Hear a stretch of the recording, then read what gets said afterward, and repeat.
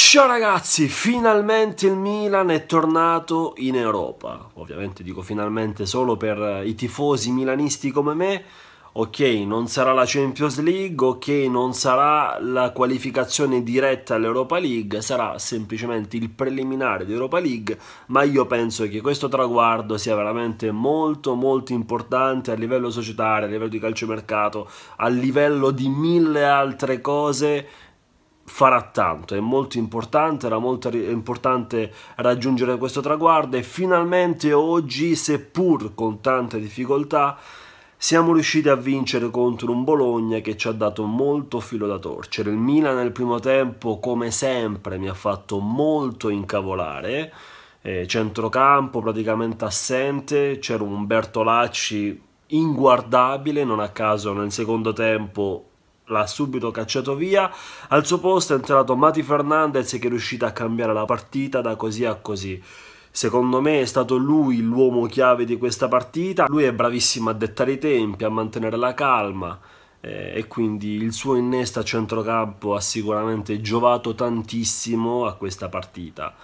Eh, in attacco Bacca come sempre mi, mi, fa imbestialire in un modo pazzesco. Io ragazzi Bacca appena arrivato al Milan ero felicissimo. Le prime partite mi piaceva, poi pian piano il, il mio amore nei suoi confronti è andato via via scemando. Si intestardisce a volte come ad esempio oggi contro il Bologna e quando la deve passare tira e quando deve tirare tira, perché lui tira sempre anche quando è in condizioni precarie di equilibrio lui tira, capisco l'istinto dall'attaccante, però tante volte sarebbe meglio se la passasse.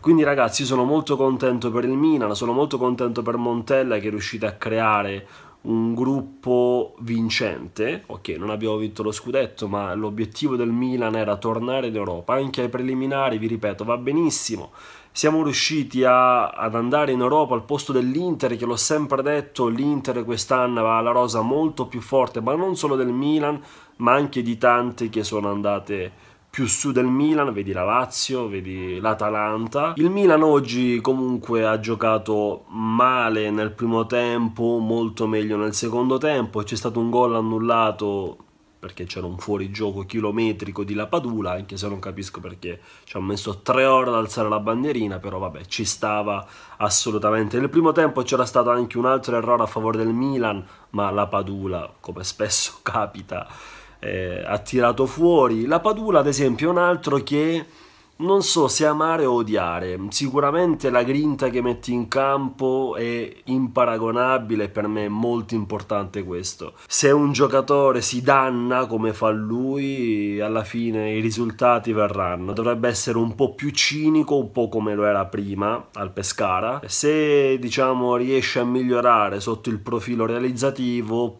potrebbe diventare sicuramente un giocatore molto importante anche se io dal calciomercato estivo mi aspetto molto. Secondo me il Milan ha bisogno assolutamente di un bomber. Del, ma non del bomber che ti fa 10 gol a stagione il bomber che te ne fa almeno 17 gol.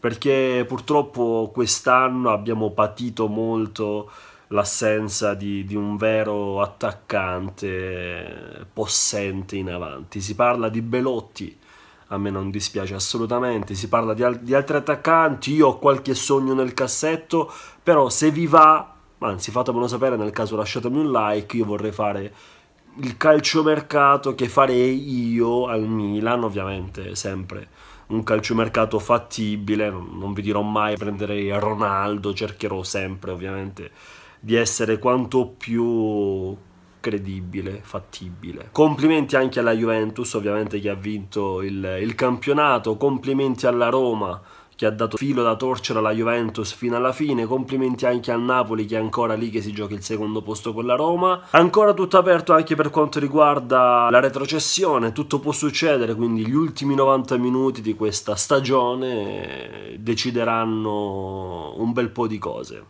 Quindi ragazzi, il video finisce qui, spero che vi sia piaciuto, se non siete ancora iscritti iscrivetevi e a presto. Ciao!